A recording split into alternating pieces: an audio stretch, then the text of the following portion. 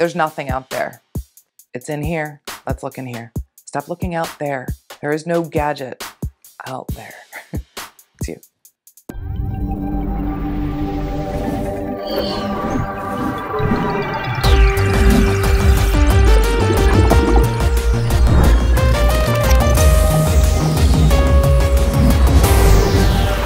Exploring the human journey.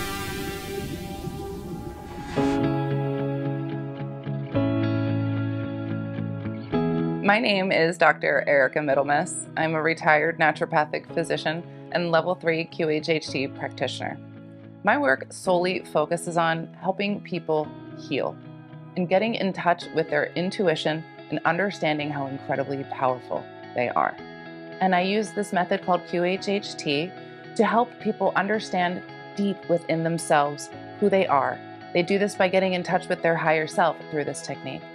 What I really do is help people understand that they have this power within them to get their own answers every second of every single day. And when we understand that all we need is ourselves, that we are our own healers, we don't need anything outside. My goal as a practitioner, as a guide, is to help people understand You've got this. You don't need anything outside. You've got it all in here. And I'm going to show you how to get to it. I'm going to show you how to realize it within yourself so that you can live the most incredible life. Live the life that you came here to live. Have a fun, incredible life and be happy and joyful.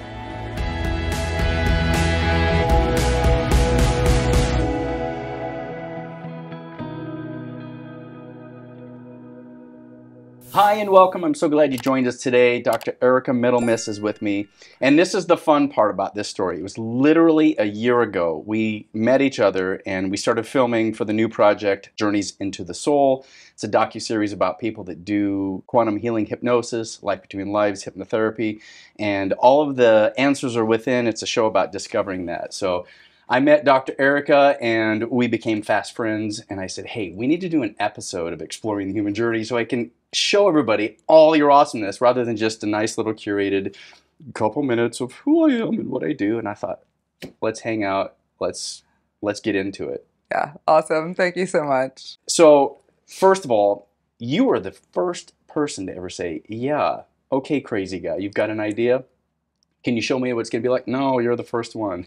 so, yeah. And the benefit was uh, I did a Zoom session with Julia Cannon, and she says, oh, you've got to have Erica be part of this. She's a QHHT level three practitioner, and she's in your area. I'm like, whoa, Scottsdale, that's you know right next to where I am. So um, we filmed an episode. It was great. You had a client named Becky. She had this incredible experience. She had healing uh, physically. She had internal revelations. And um, I saw how you navigated skillfully through this, through someone that can have these different experiences. So, um, give the viewer a little bit of presence about the work that you do with QHHT, just to, so people are like, "What's QHHT?" Sure. So give a little bit of that.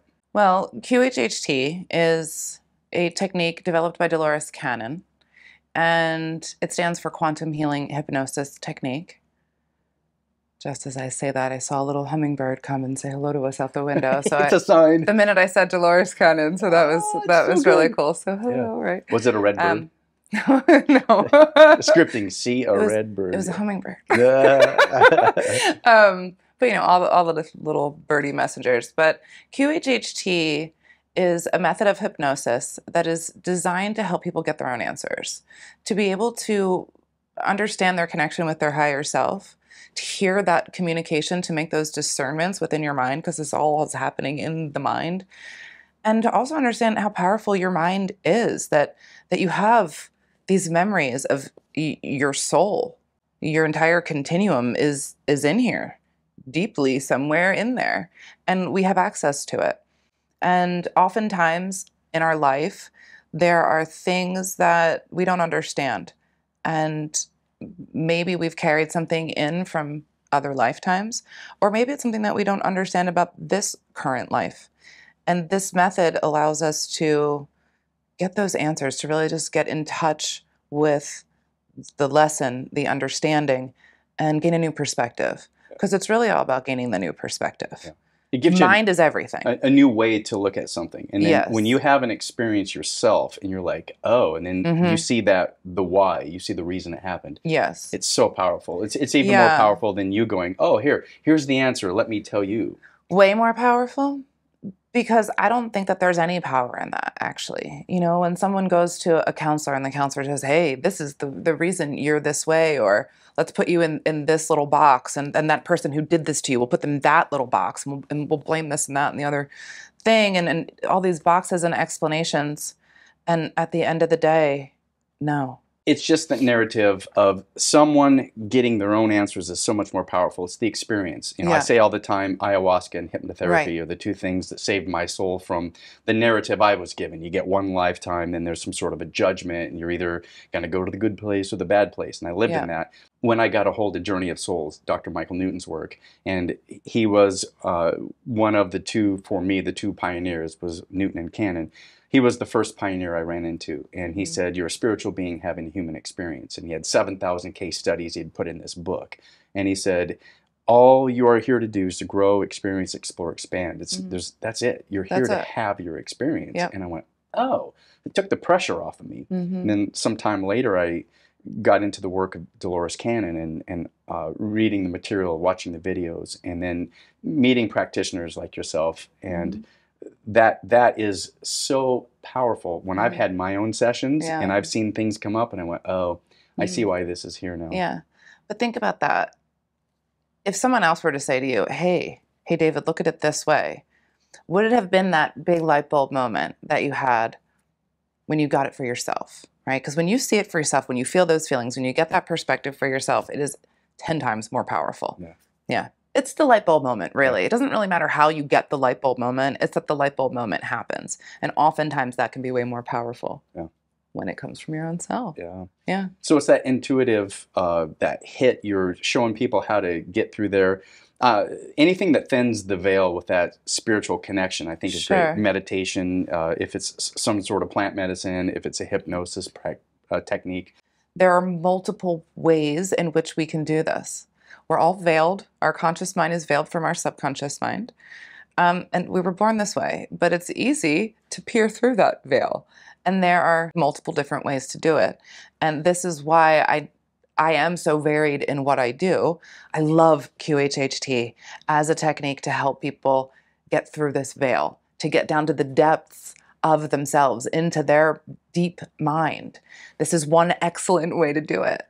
Meditation is also an excellent way, like you said, but that takes a little bit more guidance for people because most people will say, I don't know how to do that. And then, even when you do know how to do it, there's still some guidance necessary in order to get to that same place because you need a guide a lot of times. That guide is really beneficial. Mm. Every mentor needs a mentor. Yeah. Right? Um, and so, throughout all of my work, 20 years as a naturopathic physician, retired now, 10 years as a QHHT practitioner. Before all that, I was a meditator, Mm. Reiki practitioner. And so, with all of this experience, what I've learned is that there are multiple different ways to get in touch with what's in here. And there's lots of great ways. Um, but I like to use all the ways.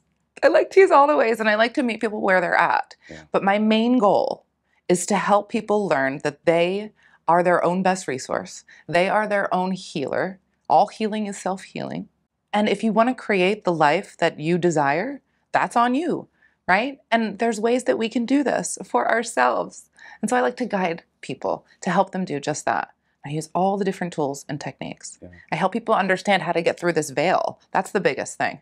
Because we do have this within us, most of us just don't understand it. We've been told a, a story, so we think about it in one way. We think there needs to be this solid thing that we need to put our finger on in terms of our intuition. And so we just don't understand it.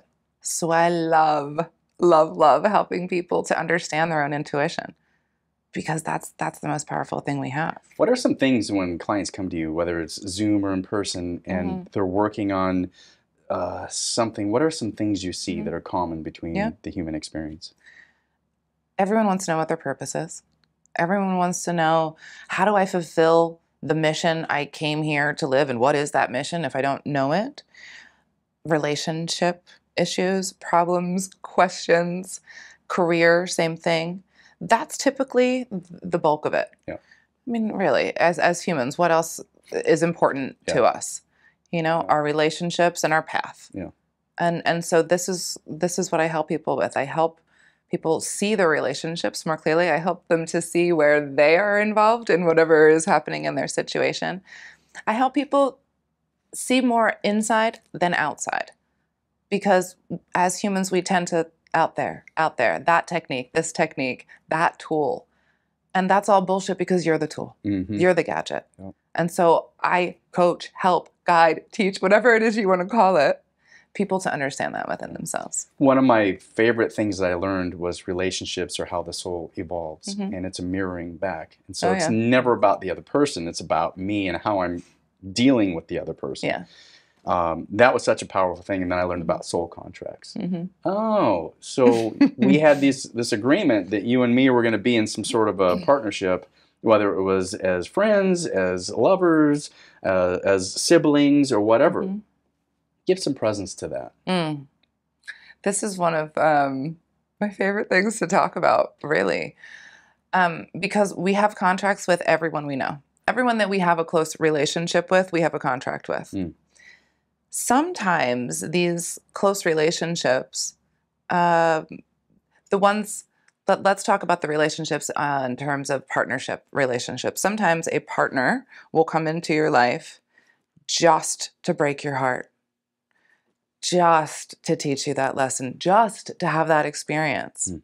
So you can learn from that. So you can learn to love yourself because, again, not out there, hmm right? So these contracts aren't always, you know, brownies and unicorns and marshmallows, right? Mhm. Sometimes they are, hey, I'm here to smack you around a little bit. And I love you, you know, but maybe, maybe I'm going to be the persecutor. Maybe you're going to be the victim, Yeah. you know, maybe you're going to be the helper. But we play all these different roles, you know? And I love to be able to look at a contract with someone who came in to hurt, you know, to cause you some hurt or pain to teach you a lesson. I love to be able to look at those contracts with a different perspective and see, wow, thank you. Thank you for showing me that. Yet it, it, it hurt, it sucked, I didn't like that very much, but I learned a whole lot from it. And I'm so incredibly grateful. Thank you for being my soul partner in that. You know, I wouldn't have asked for anyone else to hurt me in that way. Thanks. you know? Exactly. Yeah, yeah. Or, you know, um, the parent child, that's always a, a, a good one.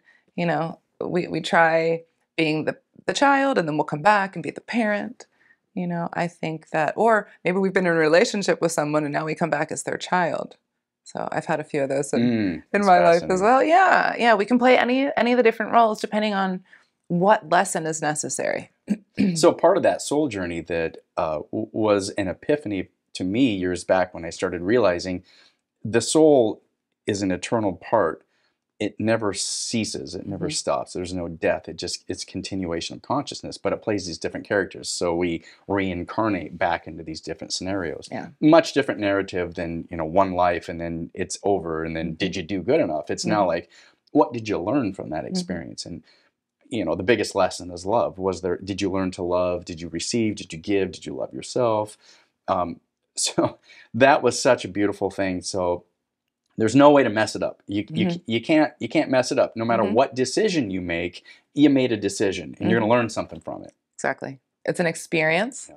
You learned, make a different decision. It, you cannot do it wrong. That's something that comes through in my work with my clients all the time. There are no mistakes, there are no bad choices. That means there's also no good choices either. It's not good nor bad, it's nothing. It's indifferent, it's an experience, it is. well we just something is. that is uncomfortable is bad and something is brings us comfort is Sure, good you know so yeah. we it's easy to quantify that but Yeah. the soul loves to have all the experience. I want to be Yeah. abused. I want to be the abuser. I want to have the whole experience. And, and it's Mm-hmm. hard for the, the human mind to rationalize that. Wait, you know, there's atrocities that are committed. Eh, Absolutely. And at Mhm. some level, there's the soul learning from these atrocities. It doesn't mean learning we- the most. Actually. and we don't justify the, the the hurting of another person by saying, "Well, my soul wanted to learn that." no, no, no, no. But there's an experience to be learned, and Yeah. at that high level. Now we still got our 3D character to play, and if someone's hurting someone else, well, let's see if we can mitigate that and have that not be perpetuated. Sure. But on along along the lines of what you're saying, a perfect example would be a child, a soul, who's come into a body, who is still young in this body, and who has the experience of a disease like cancer. So that soul chose to come in to a body to have this experience in order to a learn very important lessons for itself and to help those around them as well a handicap body is like souls line up for a handicap body because it's so hard that you can learn so much more. Hmm. I if you ever noticed that in this human life we learn from uh, hard, hard experiences. We Yeah. learn from suffering. We learn the hard way. Yeah. And so, as a soul, we pick the hardest things for ourselves because we want to learn. We want to learn it so badly. And so, let's see how we can do this the most efficient way. And and so we pick these hard scenarios. Yeah. Yeah. Yeah, this is a hard planet, and Yep. I, I like to jokingly say it's so heavy here. We have this thing that holds us. It's called gravity.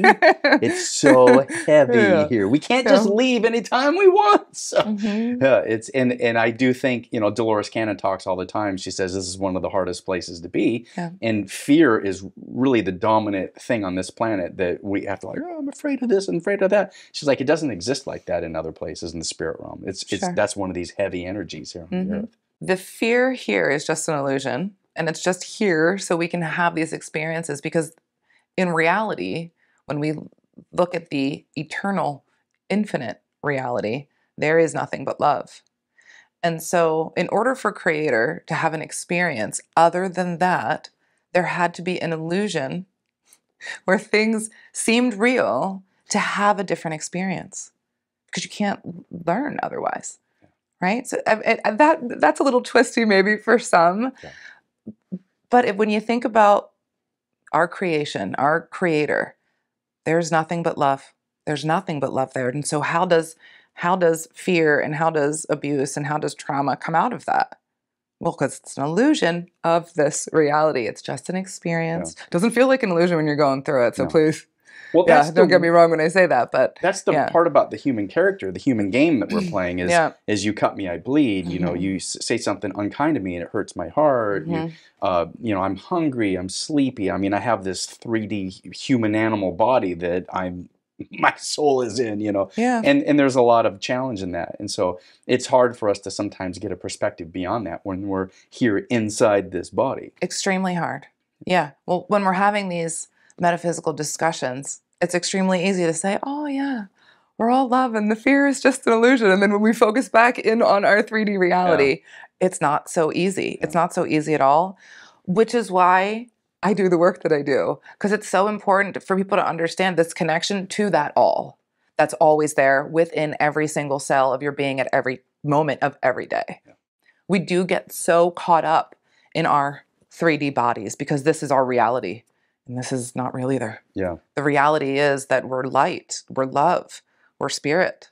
Okay, so to that point, there's a bunch of people that are going through a bunch of problems in the world. They're Yeah. depressed, they're angry, they're sad, they don't they don't understand, they're with a partner, they don't know how they got stuck in this relationship. They can't get out. They're financially strapped. They barely make it. They're like, I don't know what to do. Yeah. If I could turn the off switch off, I would. But Mhm. you know, I'm, they're not like suicidal. They're not going to kill themselves. But they're just like, what's the point? Uh-huh. What do you say to that person? that person has just forgotten who they are. That's it. And it kind of sounds like a simple answer. It's not. Remembering who we are connects us back to that hole I was just talking about. And when you remember who you are, those feelings can't sit, they don't vibrate with that remembrance of the love that you are. So when we're having those experiences, it's a lack of this love. It's a lack of this remembrance. It's a lack of recognizing its presence. It's a lack of sitting with it, of allowing it to even enter your thought process. because we get so caught up in this 3D, in this world. I got to do this, I got to do that, I got to do all, all the things.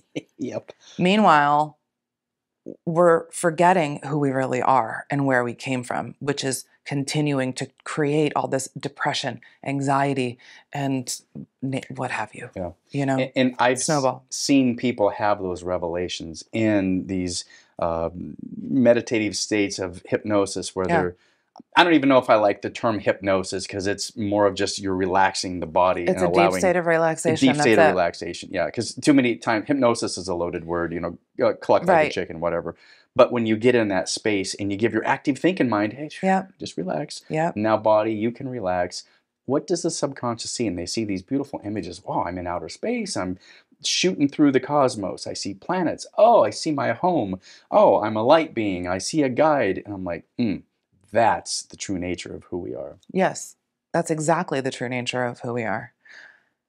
And people see this all the time this true nature of themselves as an energy being, as a light being. And they can feel oftentimes the density of this planet, the energetic density of the vibration that we live in here on this planet from, from that perspective. Um, and so, what's so important is just the fact that people understand that these remembrances happen when we get quiet in the mind. And I don't like the word hypnosis either because it tells people, yeah, you're going to be on a stage or I'm going to do something to you or Yeah. control you or make you Yeah. do something. I'm going to alter your state, Yeah. is what makes people I'm going to put you to sleep and I'm going to make you think a different way. Yeah. And that is not what I do. That's Mhm. not what QHHT is. Yeah. It's a super magical technique. it is. It is an incredibly magical technique It because is. it helps you get it for you, helps you to learn all of this stuff, but it doesn't do it for you. I don't knock you out. It doesn't rewrite your story for you. It gives you the new perspective for you to then eat. Yeah. But you got to eat it and you got to keep eating it. Yeah. Because if you gain this new perspective and be like, yeah, that was cool, but then forget about it and go back to the old daily routine of eating the donuts again, well, forget it. Then it's not going to help. Right? So, this hypnosis state that I help to guide people into is just a deep state of relaxation. You were in this deep state when you woke up this morning, right before you woke up in the morning, right before you fell asleep at night. Oftentimes, we're in hypnotic states when we are driving, when we're watching TV, when we're vacuuming, taking a shower, doing the dishes. These are all different types of hypnotic states, right? So, in all of these ways, I'm sure maybe you've noticed that your intuition will come to you in those moments. You'll hear, oh, inspiration, got it now. In those moments where you've shut up and stop talk, stop the, the talk, the, the stories, the Yeah. mind chatter. Yeah. That's when we're not hearing our intuition. Yeah, the mind is always there to reinforce what who you aren't, Right. what you're not doing good enough, what you could be doing better, why you're not in the place you were. Right. Blah, blah, blah. Yeah. So, like, just meditation, sitting out in nature, vacuuming, however it comes that you quiet your mind, this is the place where we get our answers. And so, I like to use QHHT for this. And there's many ways. I like to teach meditation so people can do this for themselves. Many different ways to be able to quiet this aspect, to understand this larger, more subtle aspect that helps us to remember who we really are. Yeah. Lots of ways, lots of ways. Yeah, so that's something that you're specializing in. Yeah. Is getting folks to have that connection with their Yes. authenticity, who they are Yeah. as a spiritual being, as that soul being, hmm and really getting in touch with that guiding light, which we call the intuition. Yes. And so you've got people that come, they see you, whether it's a Zoom or in person, and, and they're looking for answers, and you're able to guide them. Is it like a, do you have a plan? Do you have a course? Yeah. How, how do you help people? What is it that, Yes. if I come to you, what do, how do I work with you? Yes. Well, it just depends. I have a variety of different ways I can work with people. I always meet people where they're at. Let's say I'm working with someone in a mentorship program, for example, a spiritual mentorship program. First, we're going to get to know each other. And I like to learn all about the person that I'm working with. And then, say it's the mind, body, spirit program that I'm going to take them through. We are going to talk about meditation. We're going to focus on where your thought patterns are every day. Take a good look at that. Be really aware of what your mind is doing. And then we're going to move into changing those thought patterns that are potentially negative or not serving you. We're going to switch those into more positive perspectives, more bird's eye perspectives, because thought is everything. The power of thought is how we create. So I start with the mind and helping people understand how incredibly powerful their minds are and making sure that we're aware of what thoughts that we're thinking because this is what's creating our reality. hmm So we start there. And then we go into the body and we and we look at the body and we get an awareness of all of the different things that are going on with the body. How is the body talking to you today? Just having an awareness of it. And then we will move into well, what does that mean? What is the body telling me? All of these different things, these very subtle things, because when you start to pay attention, you notice, oh, I didn't even notice that before. Mm. This is happening and that's happening. Yeah. All messages. The body's a messenger. It knows exactly how to tell you your lesson, um, but we don't know exactly how to understand it. Mhm. So I help people to understand these messages that our bodies are giving us. And then we move into spirit. And with spirit, we've already been meditating using the mental focus, we move deeply more into this meditation to where we're connecting with our higher self, into this all knowing aspect of ourselves within our minds. And I show people how easy it is to go on journeys for themselves, to tap into their own energy system, to see how their chakras are spinning and moving and what colors, what their colors look like, where their imbalances are. There's a lot to it, but we go through this mind, body, and spirit journey where at the end, people have an understanding of who they are, what their mission is, what their purpose is, what step to take to move forward, an understanding of all of the things that have happened to them in their life and why, and they're going to learn from it and heal from it. That's the biggest piece. We carry these old stories, so many old stories. When we get this new perspective, understand it, understand ourselves, whew, game changer. Yeah. Game changer, new life. On your human journey, you Mm-hmm. came to this planet to do some things. Yeah. What they are, we got the veil of forgetfulness. You can't remember anything.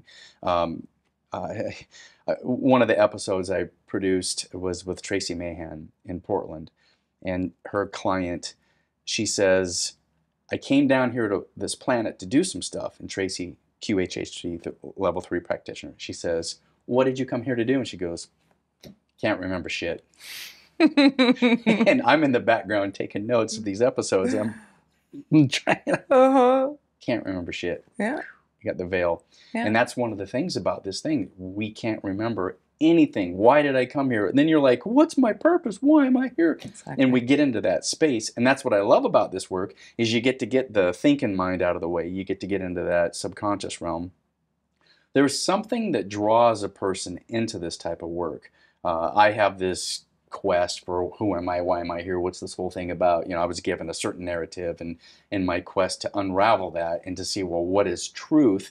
You know, I, I'm on this journey. How, how did you get into the space as a seeker where you want to help people find that true authenticity of who they are? Mhm. What's your human journey? How did you get to this point? Sure. This is kind of a long story. Oh, I'm so sorry. We just ran out of time. Thank you so much for coming. I'll make it short. I'll try. Because it starts at age three. I'm I'm one of those people who remembered coming in. What birth order are you? One. You're a firstborn. So am I. So Yeah. of course you're three, and you're like, huh? I knew at Yeah. three. I knew I wanted to help people heal. Hmm. And at that early age, I was like trying to investigate body. Like I wanted to learn all about the body parts. I wanted to see inside the body. Hmm. You know, I wanted to know what that was. Everything was inside. so you're good at the game operation then. Oh, you know what's funny about that is I took that game very seriously when I was little. Like I was practicing for my future job. I'm not You're the you. wishbone. Oh, absolutely. And I was, I mean, steady hands because I'm going to be a surgeon one day. oh wow. And I have to do this right because I'm going to help people. at, at a very young age. I'm Yeah. telling you, three years old, I knew Oh my this. God, that's the best. Yeah. So, I mean, it was just, and what I moved, what was neat is I moved on from there to want to be a teacher. And I would have, I would hold class for like the neighborhood kids, and I would, the younger kids, you know, and I would teach them math or reading or whatever. And I would set up this whole like board in my garage and chairs and everything because I wanted to be a teacher. Wow, this Yeah. is five, and if you add two, you get seven. They're like Yeah. blew their mind. Yeah, you know. yeah, totally mind blowing information. yeah, of course. So, um, yeah, I went from, you know, doctor, teacher, got a little older. I wanted to be an astronaut, Mm. you know? So I had this fascination with what's out there. Mm. Because I remember being really, really little and just looking out there and thinking, there's so much more. There's so much more out there. We're so tiny. This is so big, you know? And I didn't, my mind didn't go very much further after that being little, but I just knew I wanted to explore it. Yeah, so I I wanted to be an astronaut. All the time as Yeah. an adult, let alone as a child. Right. Like, We're so little. Yeah, yeah, these tiny little so specks. big. Like get on an airplane and look down. You know, get an idea, right? Um, and then um, about age nine, I had my first prophetic dream. Mm. So my grandfather, who I was really, really close to, he was in the hospital. He had gotten, uh, he was in the hospital with bone cancer to his spine, and he was supposed to be released from the hospital the next day. And that night, I had a dream that he died, and then I came home from school, and my mom walked down the steps as I was walking in the door and, and told me that my grandfather died. And I woke up from that dream thinking, nah, I'm going to go to school. I'm going to go see my grandpa because he's coming home today. Well, I came home from school and walked in the door, and here comes my mom walking down the stairs. And I said to her before she even said anything, I said, Don't tell me I already know. Because it was exactly the same scene. I had just seen it. I didn't need it to be repeated. Mm. Right? So that was age nine, prophetic dream. So from there, I was like, All right, now I know the future before it happens. What did I do with that as a nine year old? Not much, really. Wow. It just kind of stayed back there Mm. going through high school, I was one of those kids that always knew everyone else's intentions. Like that one's lying, that one's not good. We're at a party drinking, you know, a kegger in the woods. A kegger. We certainly know those teenage young. Yes. Because I'm like, I'm there right now. Uh-huh. Um, but you know, you're you got a keg in the woods. You're not supposed to be there. You're 16, 17, 18 Scandalous. years old. Right, I know, terrible. And um, and I always knew right before the cops would come, any party, any wherever we were, time to go. Oh, time to go, everyone. Time to go. Time to go. I was never wrong. Did word spread around whenever Erica says you got to listen? No, because people didn't get it. Like they were like, Erica, stop it. You're being, Oh you know. my God. But so I'm right every time. Yeah. I'm right every time. You know, so I never got caught. Uh, because I knew how to, you know, I knew I knew what was coming. So, um, moving along, after my grandfather had died in this way, it also it did something to me because he was part of the atomic bomb testings that happened in the 40s, and um, my grandfather was like Rocky. 'cause I'm from Philadelphia. Hmm. And so Rocky is like our man, you know. And my Yeah. grandfather was the epitome of Rocky. I mean, he could do the rope, the, the boxer jump rope really fast like Yeah. that. Really strong Italian man, Mm. you know, that just like commanded a, a, a presence, just very healthy. I mean, the man ate like uh, bran and um, orange peels for breakfast. Whoa. You know, he was the epitome of health. So for him to die in this way, I was angry. He was he was my my favorite, Mm. right?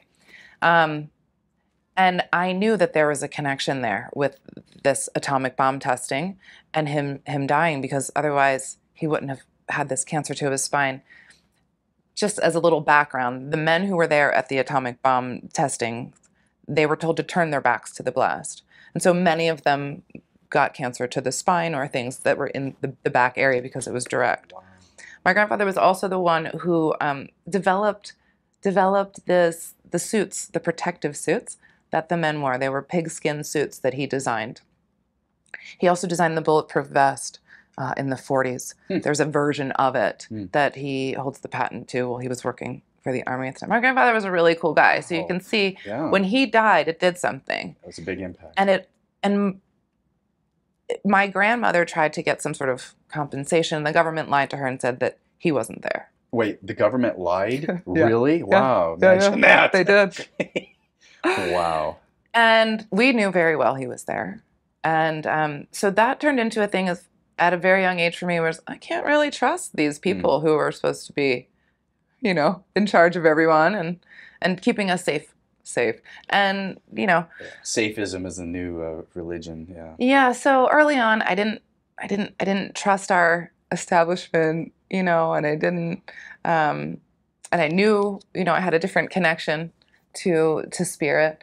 And so it just took me in a different in a different way. Mm. I wound up, you know, researching that in college and found out that I was right, and my my trust was very my untrust was grounded, and um, and then I went to naturopathic school um, to be a doctor because I thought that that's what I wanted to do, and I wanted to help people heal, and um,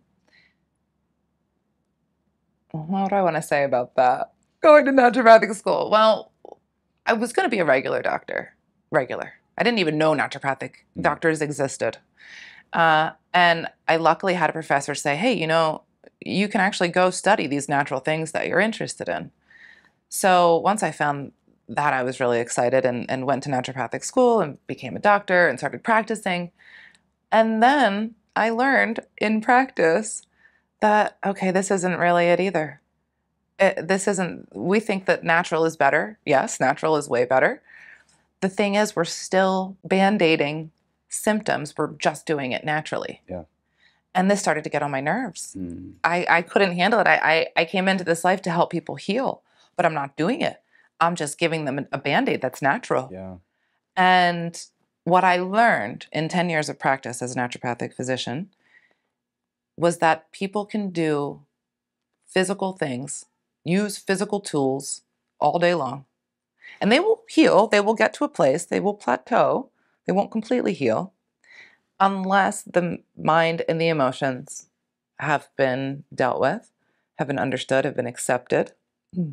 Because every lesson comes to our mind and emotion first if we ignore it, don't understand it, push it away, whatever it may be, then it will come to the body.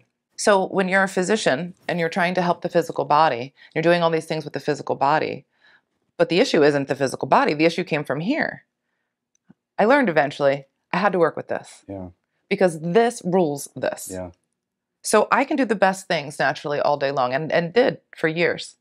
We did, I mean, the IV therapies, I think, are the best things you can do Mm. naturopathically. You know, all the different nutrients and vitamins and ozone and the major autohemotherapy that we did. Like, you can't do anything more powerful than that. Mm. Yeah. I know that there's more tools that we have now. Mhm. It doesn't matter. It's just physical.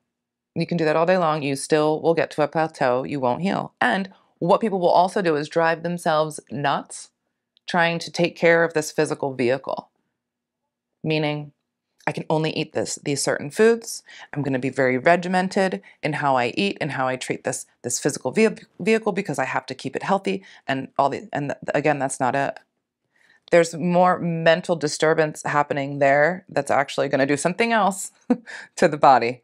Now, when I say that, it's really important to take care of the physical body. Physical self care is very important, but there's a balance in everything. And this is this is what I really focus on. My name is Middlemiss for a reason. Balance, right? So, yes, we should always be eating a healthy plant-based diet. But if you want to go have a cookie, please have that cookie. If you want to have a drink, have a drink. You know? Yeah. Just don't be doing that the cookie and the stuff that's not so great for you all the time. No.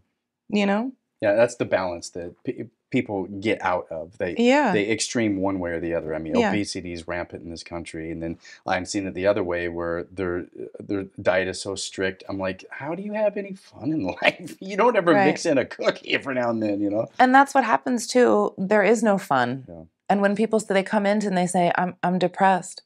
I, I can't find the joy in life. Well, this contributes hmm absolutely all day because we're doing these things to ourselves that are unnecessary. Yeah. So we have to look at things from a different perspective. And so I love helping people to see things in a different perspective now and to see what actually is important. And what is important is how you feel, how you think and how you feel every single day. And it's possible to wake up feeling amazing, Mm. joyful, happy every single day. Depression is healed like this, honestly. With a different perspective. Yeah. I've seen it over that's and over. The, the perspective has to change. Yeah. It's all it is is perspective because your thoughts are creating everything. Thoughts are things. We create our reality with our thoughts. Yeah. Period. End of story. I don't care if like it sounds silly, but this is how creation came into being in the first place. Yep. Like when we think about the Big Bang, right?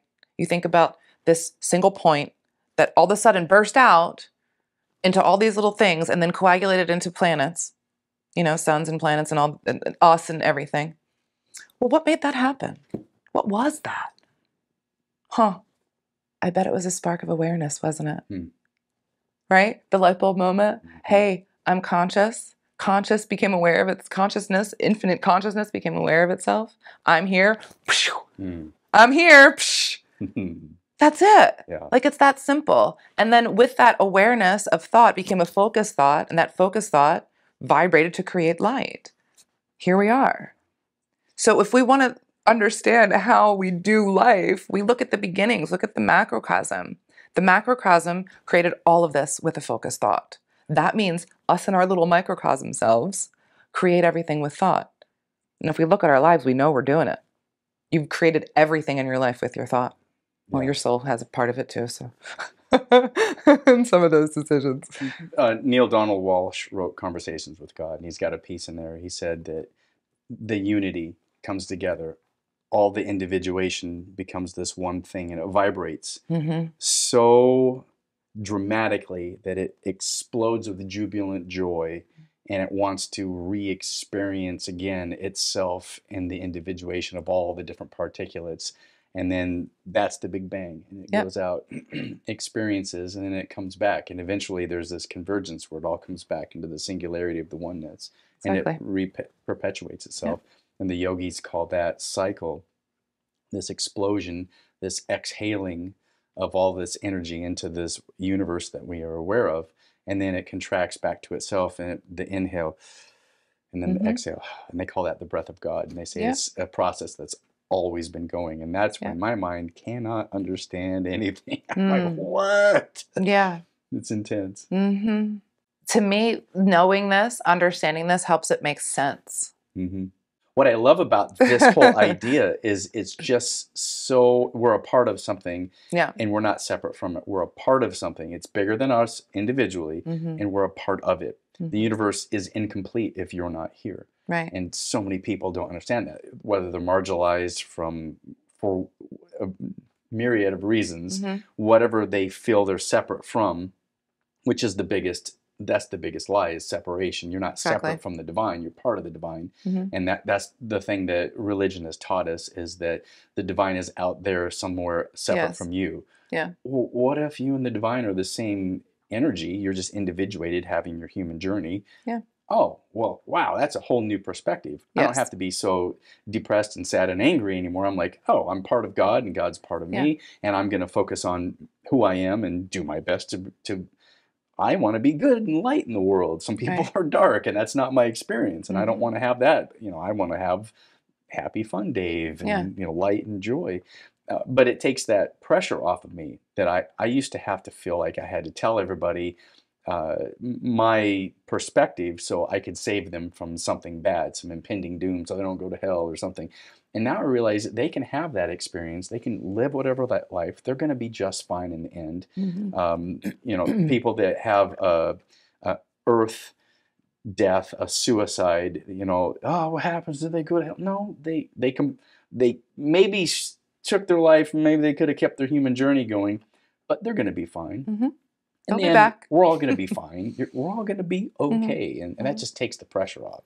Yeah. And, and I, I think that's so important. And, that, Yeah. and back to that, you know, hypnosis gives you that ability to tap into that. Mhm. Um, so you're at this space where you're a naturopathic doctor. You're realizing you're doing symptoms. You're fixing. You're, you're putting band-aids on things. You're not fixing problems. So how do you get into the where you're like, well, what's the root? What's the core? How, what happens next?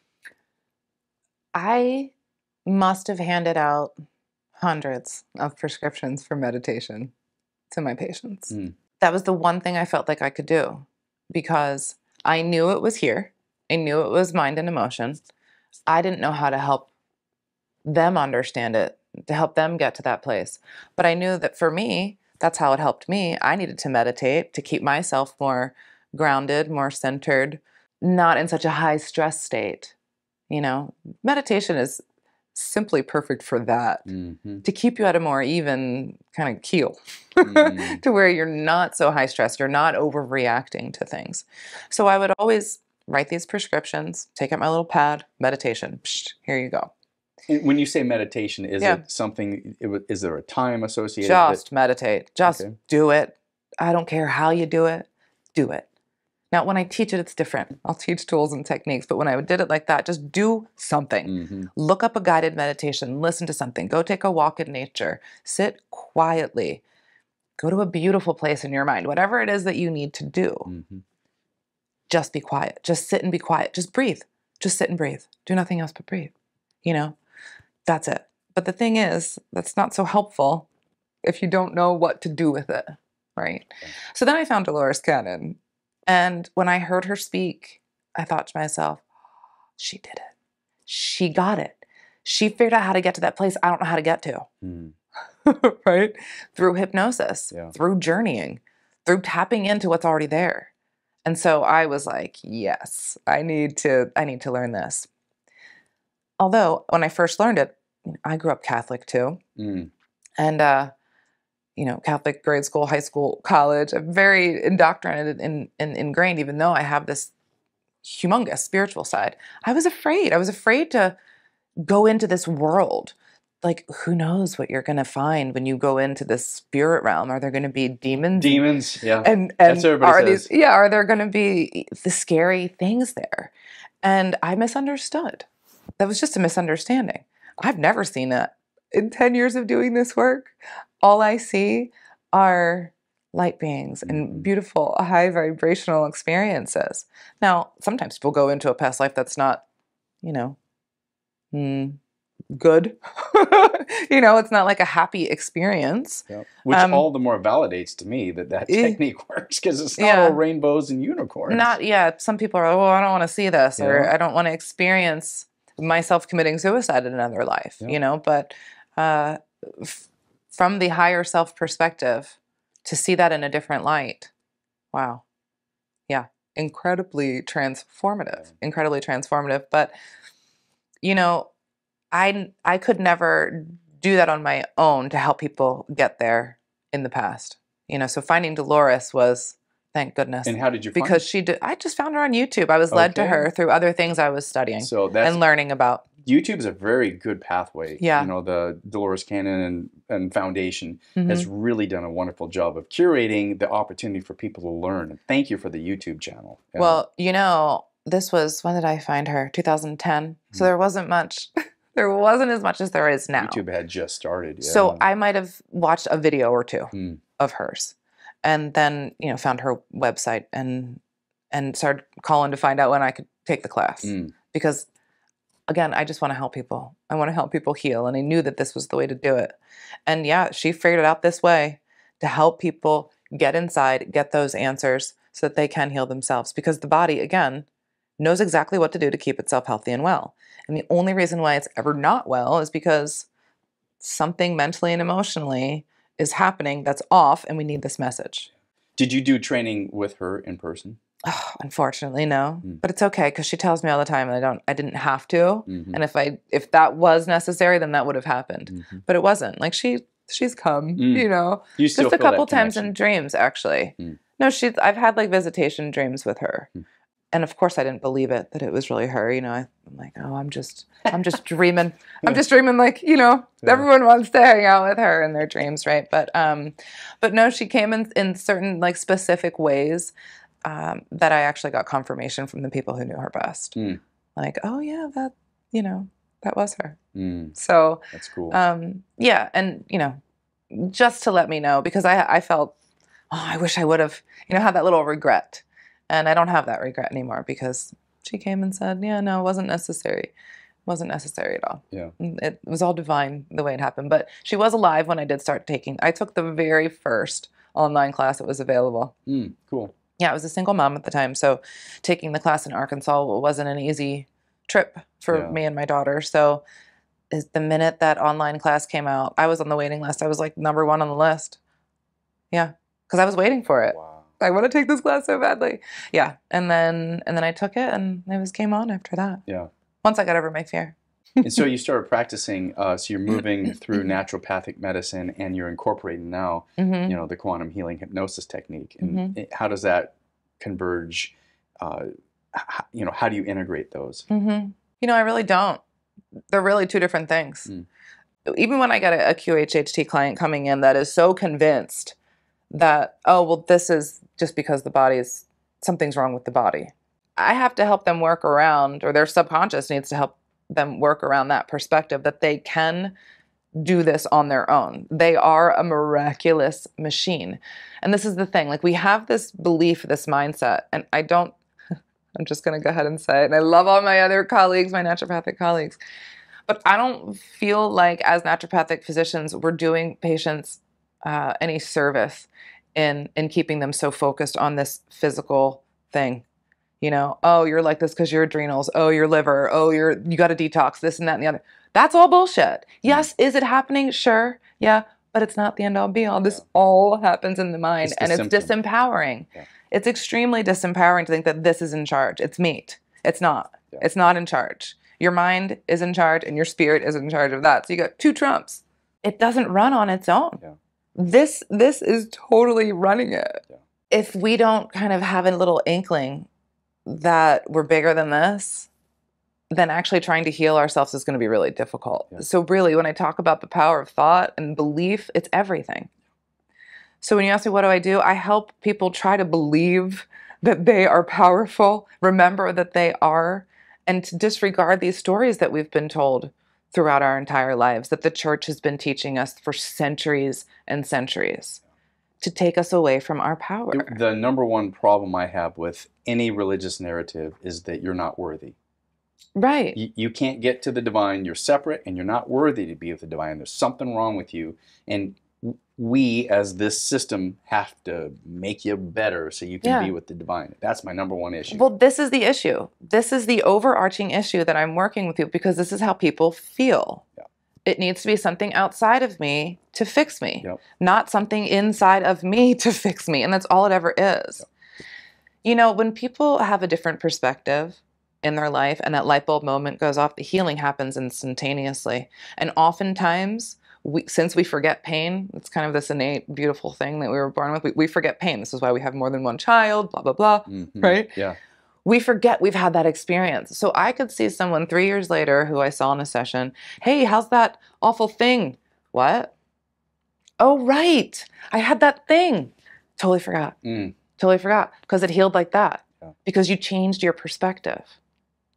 This thing of unworthiness, when we go back to when we talk about creation and all coming from the one, when we're able to work with ourselves in this way, when we're able to meditate, when we're able to make these connections, we remember, or we start to remember more and more and more, that there is no possibility of being unworthy. There is no possibility of separateness. We all come from the same stuff. We every single thing here comes from the stardust that made us. The starlight, the star vibration. Yeah. Not a single morsel, not a single atom, not a single particle, nada, nada, nada, nada on this earth doesn't come from that same source. Yep. That means no one better than, no one less than, no one no one more worthy, no one more powerful. They may seem it because they might remember. But that's it. Yeah. It's just about the remembrance. And and I think it's important that we remember as humans that since we've been telling ourselves this story for however many years we've been living, so for you and I, you know, some 30 plus years, right? um no, but yeah, forever, however long you've been telling yourself this story, it's going to take some practice to undo this story within yourself. Yeah.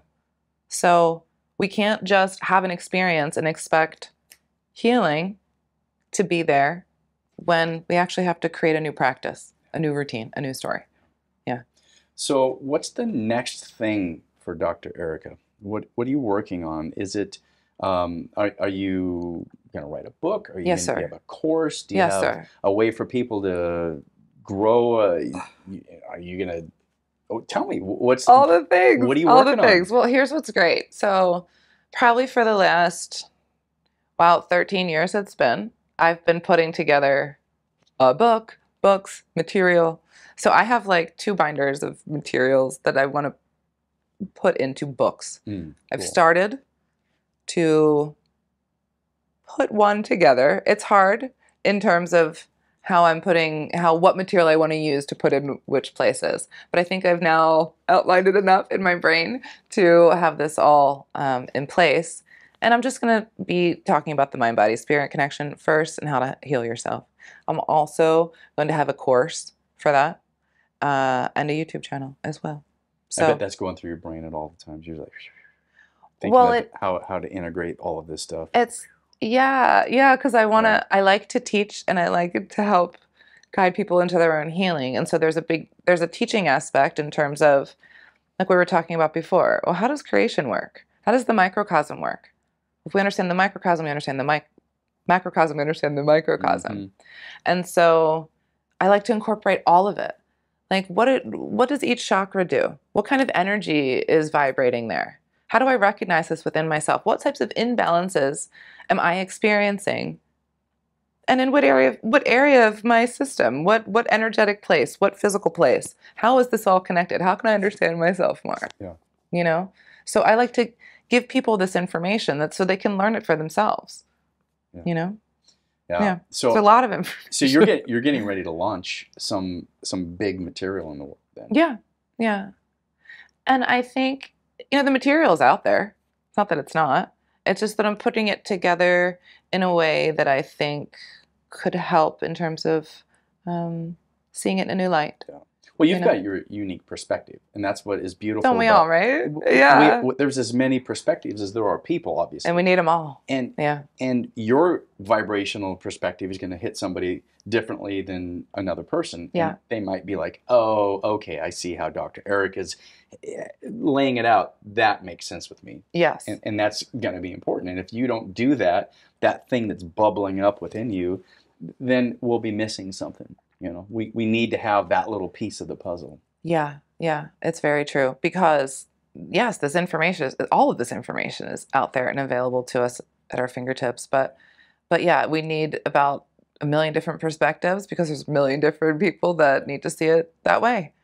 Yeah, so it's and not everybody's called to be a speaker, a teacher, an author, and a, a thought leader. Not everybody's called to that. And so some Mm-hmm. people feel this pressure like, oh, I got to write a book. I got to do. No, you just live your life. Dolores Yeah. talks about the potato pickers. You know, just, Yep. just go out and simple. just do do what you're supposed to do. If you're Sure. if you're a librarian, do the very best job of being a librarian or Mhm. whatever that, you know, dr- driving your bus or taking care of the kids. What do that to the very best of your ability. And if you've got something bubbling, there's a lot of people like, oh, I've got this message. I got to tell people. I got to Yeah. do something. Yeah. Then do it. You know, I Yeah. had this bubbling up within me to say, this quantum healing hypnosis technique is so powerful. The Newton method is life between lives hypnotherapy. It's so powerful.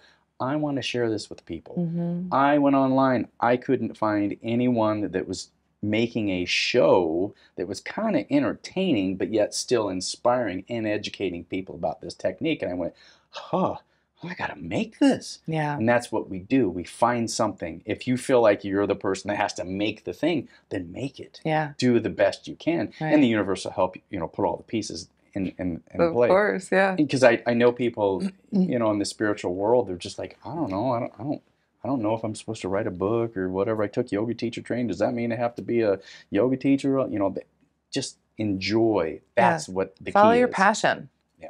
That's what I like to tell people. Follow your passion. What is it that lights you up inside? yeah For me, like I told you earlier, I've always wanted to teach. I love teaching. I love it, love it, love it. I love it. I love helping people understand and know more. Like, what are you curious about? Let's find out. Let's learn. Yeah. Because it's fun. Yeah. And so all I want to do is share what I've learned. Because what good is it to me if I just keep it in here and not share it? Yeah. Because I feel like I've learned a lot. And I like to, I'm a pattern seer uh, and I like to make analogies. And so I like to take all different types of material and put it together into one nice little ball and be like, look, this is all saying the same exact thing Yeah. here. You know? So that's what where my work is um, focused, really, is that you'll see all the different works in my work.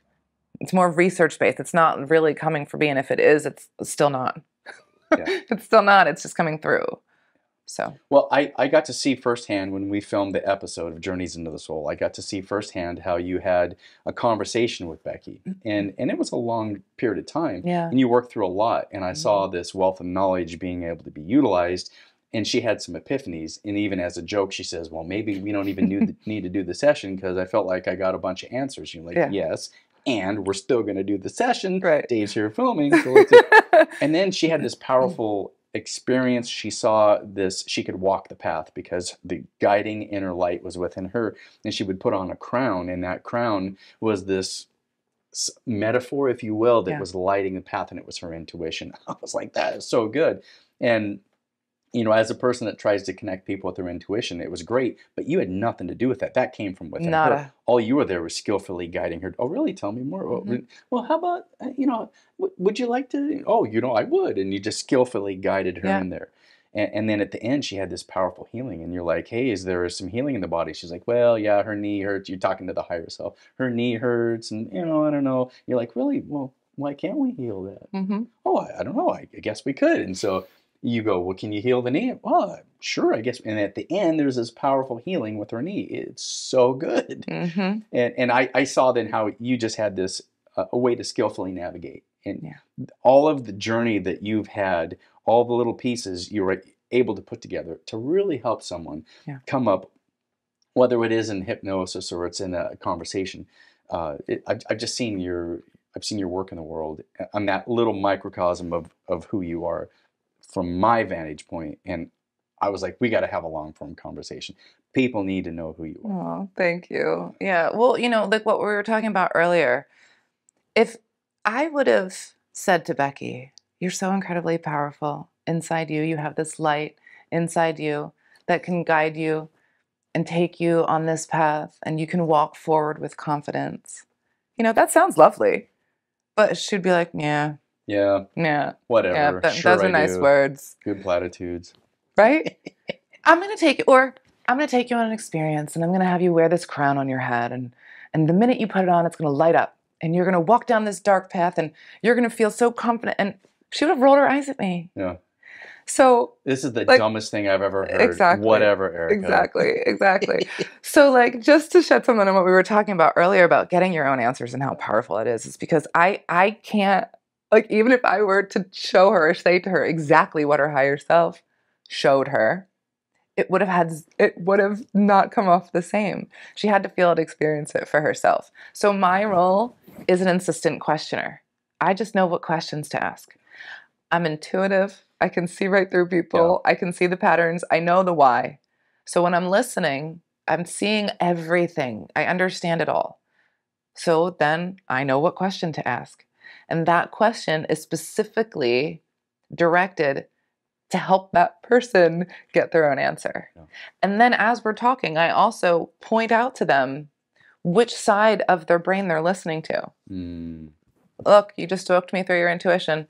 Now you're thinking in your head. Mm. Get out of there. What's the first thing? So it's you know, Yeah. it's it's it's kind of this beautiful dance.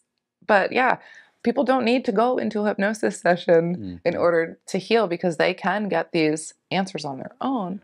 It's just that when you do have those experiences of that incredible power, that feeling, it is a game changer. Yeah. Yeah. Well, I've seen the power of it, uh, and, and I've enjoyed watching how you worked with uh, one client, and that's the benefit of being able to create the show that I've made is to be able to sit in the room and see see the beauty and witness it firsthand. It, it's so powerful, and and that's not an experience. No one's allowed in the room. You know, it's a Right. sacred space, and Yeah. no one's allowed. Obviously, we were doing it uh, with permission, saying, Mhm. "Hey, can I document this?" Of course and Mhm. because it, was a labor of love it wasn't something it wasn't a gotcha show or anything like that but um uh, it just it's just so beautiful uh, i'm glad that you're doing your work in the world it's so Thank important you. so necessary you're filling in your part of the puzzle so thank you for that Thank you. if there's uh, one thing you want to leave people with as we close out today there's one thing if they they heard you say a bunch of stuff what's the one thing that you want people to know and take away from today's conversation The one thing I think that is most incredibly important for people to remember is how powerful they are. And that there is nothing out there. There's nothing out there. It's in here. Let's look in here. Stop looking out there. You are the gadget. All day, every day. There is no gadget out there. it's you. Beautiful. Mhm. And tell people how they can get a hold of you and uh, what your socials are and all that stuff. If you'd like to schedule with me or book with me, you just have to go to my website at drerica.love and make an appointment. I just don't have the time to answer every email and phone call, and I've stopped doing that. So I'm not, I just, I want people to be aware that it's important to me to have time for myself to take care of myself so that I can then better help others. And all of my offerings are there, any upcoming events are there, and you just little click a button and pick a day, and then I show up. and then we get the work done. We're off and running. Yeah. Well, it's been wonderful. Thanks for spending some time with me today. Thank you. Thanks for sharing your light in the world. Mm. Thank you. Thank you so much. Namaste, Appreciate it. friend. Yeah, thank you. Thanks for joining us here on Exploring the Human Journey. For more information, go to the website at exploringthehumanjourney.com.